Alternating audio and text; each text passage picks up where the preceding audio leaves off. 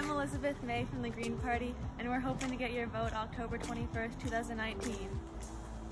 Got my vote. The Green Party isn't like any other political party. Our mission is to rescue grassroots democracy and put a political spin and make voters recoil. Our goal is to make sure our planet and communities thrive and survive.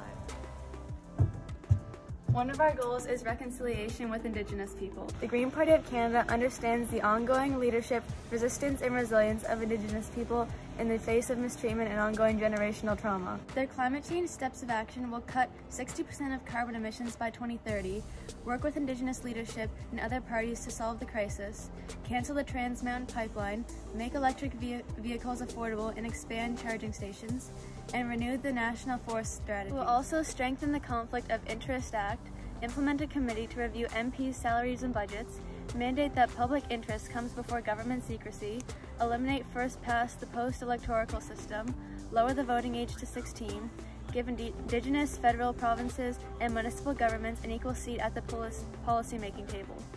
Vote green. green.